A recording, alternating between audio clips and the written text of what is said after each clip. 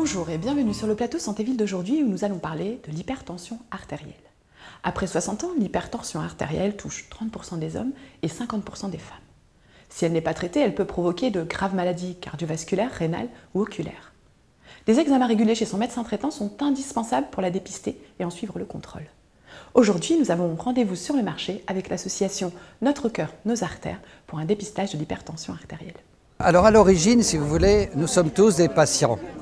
Hein, bénévoles bien sûr, nous sommes tous, euh, disons, euh, soignés en cardiologie. Et c'est le professeur Mounier-Veillé, un hôpital cardiologique, qui a créé cette association de patients en 2006. Et au départ, on a fait beaucoup de dépistage avec eux dans le cadre de, son réseau à Vasque, qui est bien connu d'ailleurs. Et puis après, ben, on, on est parti tout seul à faire nous les dépistages d'hypertension, au départ sur l'agglomération lilloise uniquement.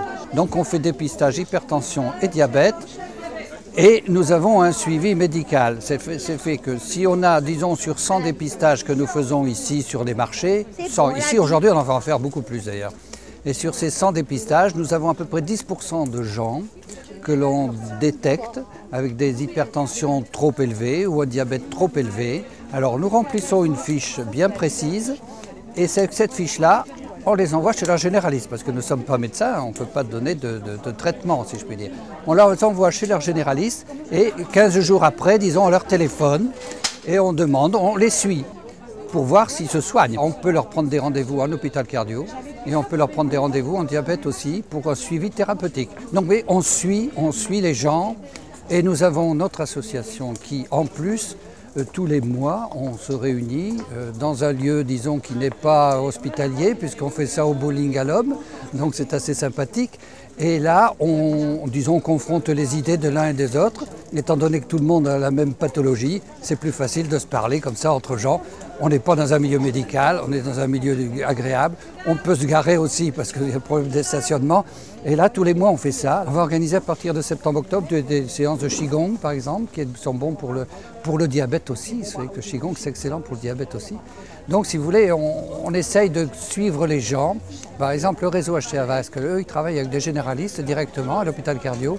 Et les généralistes leur envoient des cas particuliers. Donc, ils s'occupent d'eux pendant 5-6 euh, mois par un parcours thérapeutique qu'ils font avec euh, cours de diététique, cours de, euh, de utilisation des, produits, savoir lire une, disons, un bilan biologique, quoi.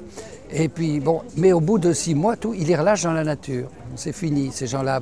Et la plupart du temps, bon, la marche, ils n'en font plus, euh, des choses comme ça. Dans la plupart des communes, c'est ça. Alors nous, nous rattrapons ces gens-là et nous, et nous, les suivrons et on se rencontre régulièrement, quitte à faire une partie de bowling s'il faut, voyez, des choses comme ça, mais pour les sortir de leur, euh, de leur domaine, disons, médical où ils sont un peu des fois tout seuls.